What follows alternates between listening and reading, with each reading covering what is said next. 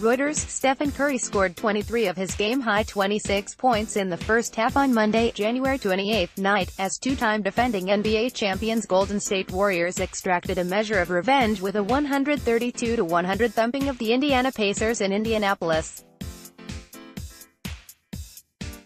In another game, Jaylen Brown and Marcus Smart scored 21 points apiece, and the Boston Celtics dominated the fourth quarter while extending their home winning streak over the Brooklyn Nets to six games with a 112-104 victory. The Celtics beat the Nets for the 11th time in the past 12 meetings overall on a night when Kyrie Irving sat out with a strained left hip. Boston coach Brad Stevens said he thought the injury occurred on Saturday during the first half of the Celtics' 115-111 home loss to the Warriors. On Monday, the Warriors won their 11th straight, their 10th in a row on the road, against a Pacers team who last season became the first Eastern Conference club in the five-year Steve Kerr coaching era to sweep a season series from Golden State.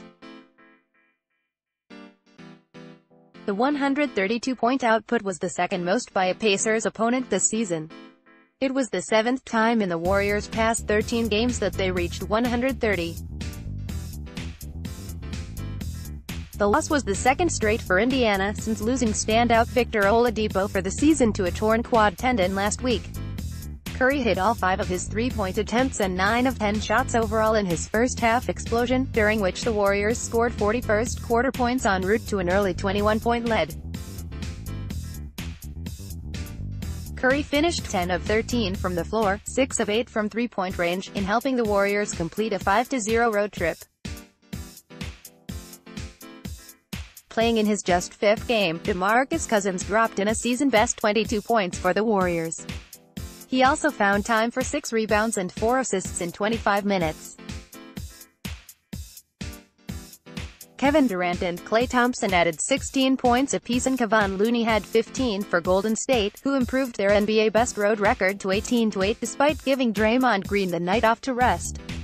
Andre Iguodala, playing on his 35th birthday, contributed 6 points, 6 rebounds, 8 assists and 3 blocked shots to the Warriors' cause.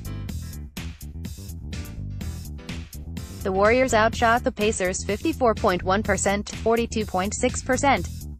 Miles Turner led five players in double figures for Indiana with 16 points.